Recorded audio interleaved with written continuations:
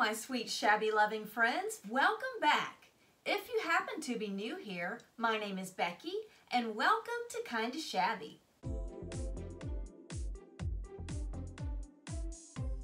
I enjoy sharing all things DIY and decorating. And if you enjoy those things too, then stick around. If you like what you see, then please subscribe, like, and comment. Now today's video, we are going to be doing all things picture frame. So we've got several here that we're going to be making over. Now this first one here, I started off with this picture frame from Goodwill that I probably paid, I don't know, two bucks for. And I made a message center out of this several years ago and I have liked it and I have used it, but it's time for a little update. So we're going to be painting it, changing the fabric, and adding some new little embellishments to the edges there. Now for this, you ever have one of those projects that you're just trying to rush and trying to get it finished? Well, welcome to my world. I thought that I could put the chicken wire in here and then paint this frame with the chicken wire already in and I was just making a big old fat mess on this thing. So, I'm going to be removing the chicken wire, continuing to paint this pink. So this is going to get updated, but it's going to be done correctly. Then I have this gorgeous faux leather frame that we're going to be shabbying up with a doily. And I haven't quite decided what I'm going to do with this, but this is one of the last of these picture frames that I picked up from Ikea, and I just love these little things. They're just adorable and so easy to work with. So we're going to go ahead and get these projects started. Stop the presses. We interrupt this episode to bring an immediate news flash.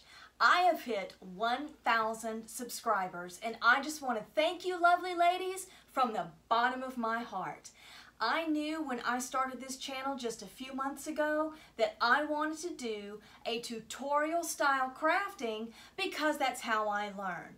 And I also decided regardless if I had 10 people or 10,000 people here, I was going to have fun and work hard to bring you tutorial style crafting every week. And I cannot thank you enough for being here, for all your kind comments, and for the way that you support and encourage me. Now let's get back to these projects. For our first project, we're going to be painting our faux leather picture frame. Now, if you saw last week's video, I painted a little train case that was faux leather, and this paint actually works very well on so many surfaces, and faux leather is also one of them. I'll be using the Rust-Oleum chalk paint in linen white. Not sure if it's coming up on camera, but that has such a gorgeous embossed floral design at the top that's kind of hard to see with this being so dark. So once we get some paint on there, that is just really going to make that detail pop and it is going to look so pretty. I like to start on the sides. That way you can come back and smooth everything out on the top and it just really looks good. Now that we have those sides painted, we're going to come back and do the top and smooth out. There's usually a little ledge of paint left over from when you paint the sides and then when you come back over the top and do that last, you can smooth all of that out. And now we're going to set this off to the side and start on our next project. Now I'm going to be deconstructing my little message board here. So this backer is just poster board that I put fabric on. I don't need this fabric anymore. So I'm just going to take this apart. See? Just poster board with the fabric on there. I had burlap and a little sunflower on there and it was adorable. But it's time for that to go. We're going to make it look a little more shabby chic. Now I'm just going to be sanding off where I've got a little bit of hot glue residue left here. And after I sand that, then I'm going to start painting and I want this one in the linen white as well. Baby wipes make an excellent way to just clean up any of that sanding dust residue. Just wipes right up.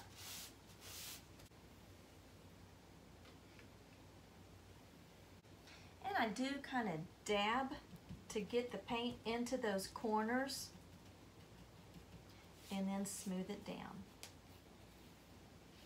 You want to make sure that you don't attempt to put on more coats until your first coat has dried thoroughly or you're just going to lift up the paint that you have just applied. So we're going to pop it over here, let it dry, and move on to the next project. So my paintbrush doesn't dry out in the meantime, I've just stuck it in a little Ziploc bag and that way, when I'm ready to put more coats on those other projects that we've just painted, I can go right back to that and that just eliminates having to use so many brushes.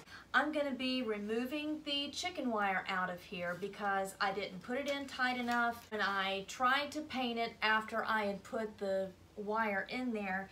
I just made a mess.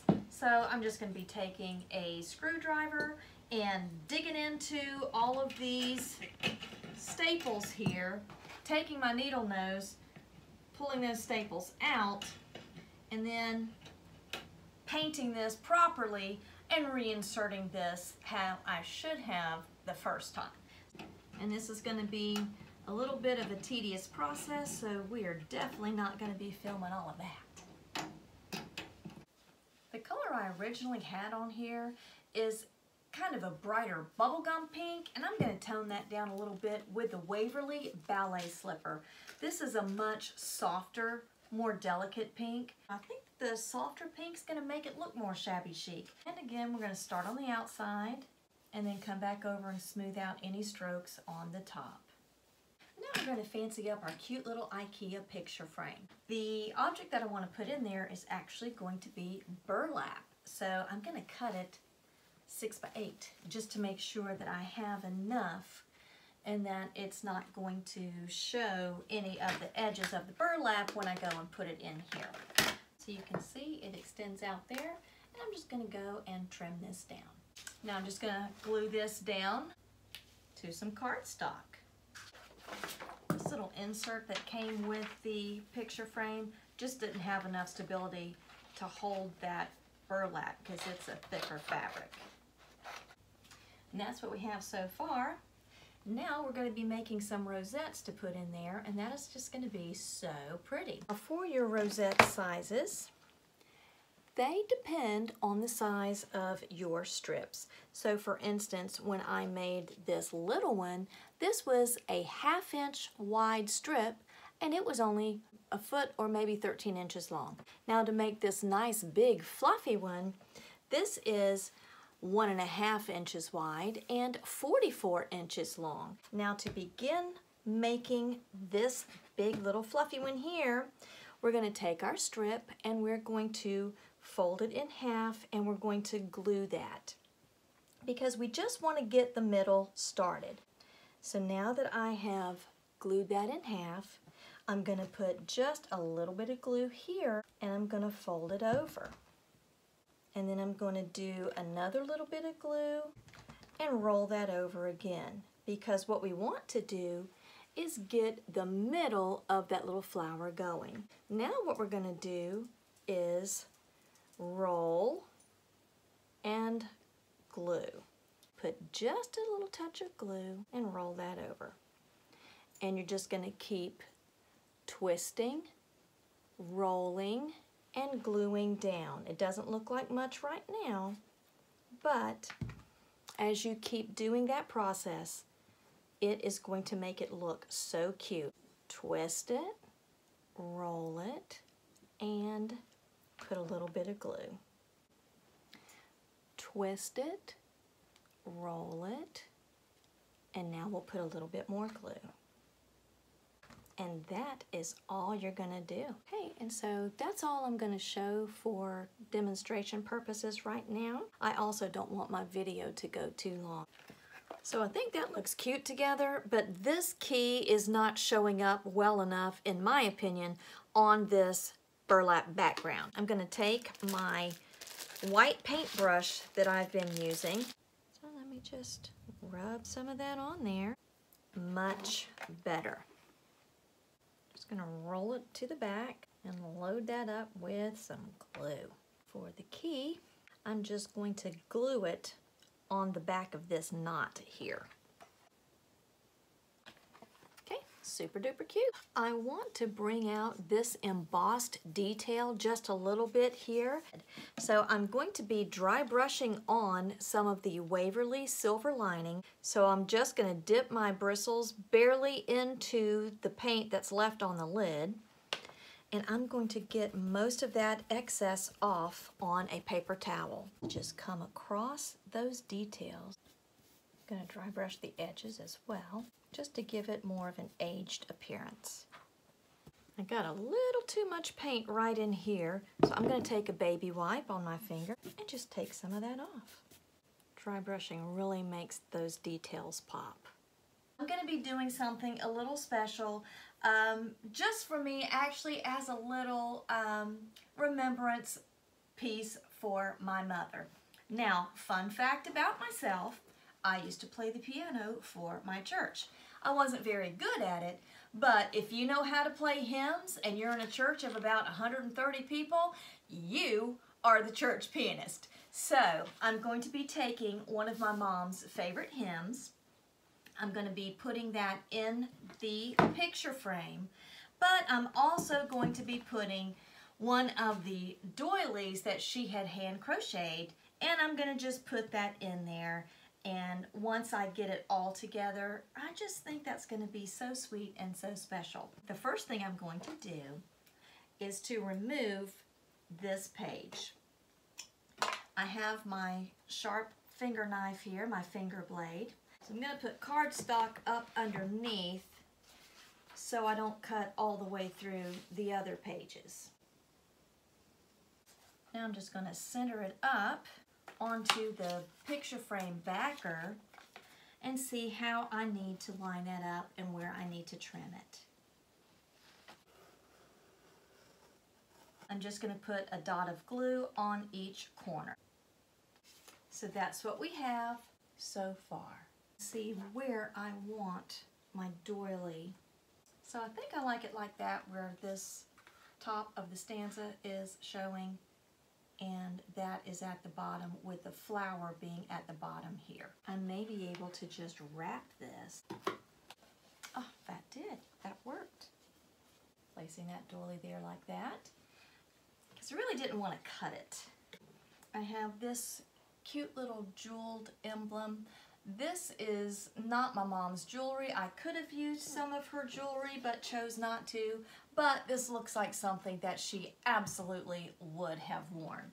So I am going to be gluing that into the middle here. And that is all I'm going to do with that. And I'm going to look at it and go, love you, Mama. Sometimes the simplest things are the things that you actually treasure the most. Now we're going to be completing our message board. So I will be cutting out this foam board. It's a foam core board and I purchased this at Walmart and this is going to allow me to be able to use push pins to put my little messages, notes, whatever I want, pictures um, into that little message board. So I will be cutting down the foam board to fit inside of our picture frame then I will be using this beautiful fabric. This is a Waverly fabric and I picked this up also at Walmart in the fabric section and this is already cut into one yard. Look how just gorgeous that is. So I'm going to be applying this fabric to this board using the Krylon Easy Tack. So the first thing we have to do is get this foam board cut to size. So this is 12 by 24. But I am actually going to be cutting it a quarter of an inch shorter on each measurement. I'm actually going to do an eighth of an inch because I can always cut it down if it's too big, but if it's too small, you're going to get a new board. I'm going to take a bigger knife and just work in that.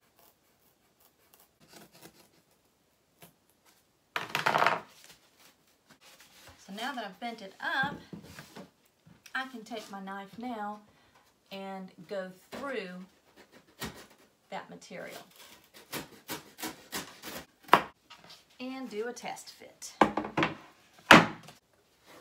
Now that my fabric is all pressed and pretty, I am ready to cut out my piece. I cut my foam board smaller I did that because I want to cut my fabric a little bigger so I can wrap around and it won't be so tight that I can't get it into the picture frame. A two inch seam all the way around is what I'm going for. So now that I have my fabric piece cut, I will be going out into my garage because you do not want to use this Easy Tack inside. So I'm going to be spreading out an old Amazon box to lay this on. I will spray this with the Easy Tack. Then I'm going to lay my fabric on top of that and I will be taking my Bondo spreader and I'll just be spreading the fabric just like this so it will adhere to the foam board. Let me head out to the garage, get this stuff stuck down, and I'll be right back. So we're gonna flip this thing over and use just your regular old stapler. I'm gonna start on this end and one on the opposite end and I'm just going to clip the corners so I don't have so much fabric bunched up at the corner. So that is how I trim the edge. And then I'll put this edge down and staple it, and that edge over and staple it, and it's just a nice neat corner. And we're done. How pretty is that?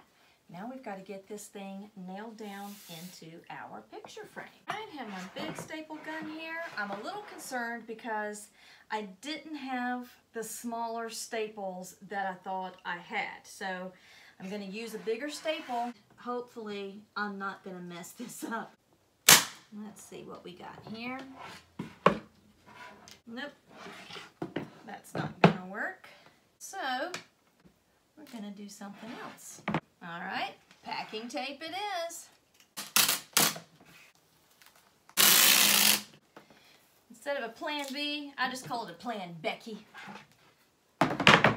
I'll just find some way to figure it out. Yep, that works. So now we've got our fabric in there, then we're going to start shabbying up with some cute little accessories on there. We are going to be making a cute little shabby flower to go on here. And then I'll also be using this pretty lavender sprig in there as well to just give it a little bit of oomph. Now I saw this flower technique on a channel, I think it's called A Little Shabby Chic. She's not uploaded anything in a while, but she has some really very beautiful flower tutorials and so this is one of the ones that I'm going to be showing you today. I looked around to find something that I thought was going to be a good size for a flower up here and this is a band off of a wide mouth mason jar. That's going to be a good size up here. Just going to go ahead and cut out my piece of felt and for the flower I want a nice long piece of this fabric. So I'm going to cut about a two inch section right here. So just snip and rip that and get excess string off. I had showed you a similar flower. This is just a different take on it. So this is a two inch strip and it is 40 inches long. So you take your strip and you fold it in half and you're going to glue closely to those edges. Now I am using a different glue gun. This one is a fine detail tip glue gun because the other one just would deposit too much glue for this particular project. And so that's what we're going to do all the way down our strip here. So now that we have our tube formed here, we're going to go back in and we're going to make little snips about a quarter inch apart and we're going to make them almost to that glue line, just like this. And we're going to continue all the way down our tube. And now that we have finished making all of our little snips all down our tube, it's time to start gluing. And you're going to start on the outside edge here, and you're just going to start gluing that tube onto your piece of felt. Hot glue dries pretty quickly. So if you work in small sections, it's easier to do. We've gone around the outside edge here. Now you're going to continue on with gluing that down, but you're going to come down underneath this and you're going to make a second row with your loops. So we're going to do our loops row after row until we get all of this into the middle. After doing all of our rows of gluing that in, that is what we have. And that is what we have on the back. So now what I'm going to do is just hold my hand down, take my fingers and just kind of fluff up. I want to get those fibers nice and shabby looking. Once you rough it up with your fingers, it just makes it look a little more tattered and a little more shabby chic. I'm going to take one of these little rosettes that I made in a previous video and I'm just going to pop that in the middle and glue that in like that. And there we go. Look how pretty that is. So now what I'm going to do is figure out how I want my lavender to look. And I think that that looks good. So what I'm going to do is lay this aside and glue down my florals. And it may take a second when you're gluing your florals down for that glue to set. I just have those sprigs there in the corner just like that. Then I'm going to come over the top and since I've got a very large base to work with here, I've got plenty of space and plenty of room to stick glue and hold that down. Just pressing firmly, holding down, giving it time to set. It was cute before, but now that we've painted this up, changed the fabric and added some more little shabby chic embellishments here, it just changes the look of it. It is so cute. So I tried getting this chicken wire stapled in here and my hands are just not strong enough anymore to pull and staple this. So I'm gonna let Mr. Shabby staple this in for me when he gets home from work so what we're going to do now, we're going to make some embellishments for the frame. So I'm going to use some laces and some ribbon and some fabric here and we are going to create another shabby flower. This time I'll be using pink felt and I just picked this up in the crafting section at Walmart. Isn't this pretty? That is so pretty. I'm going to cut some wider pieces of this. And right now, I am just going to start laying some pieces out. This is going to be our nice little base here. And I'll start at the back and just start gluing. Now I'm going to do the same thing. Lay in some of these little chiffony looking pieces.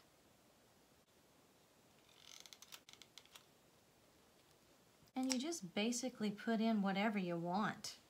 And you just lay it in there, and if it looks good, you cut it and you glue it down.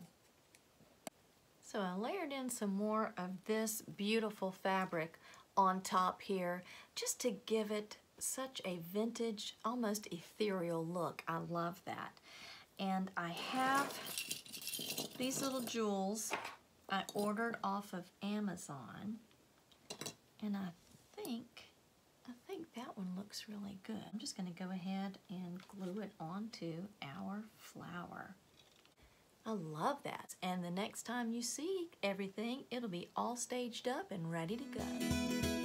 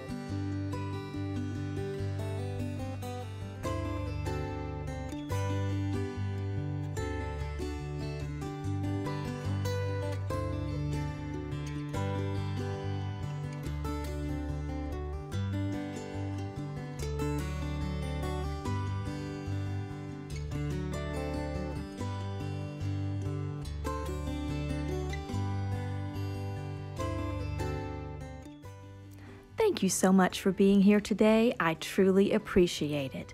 I hope you found lots of inspiration for ways you can update picture frames in your own home.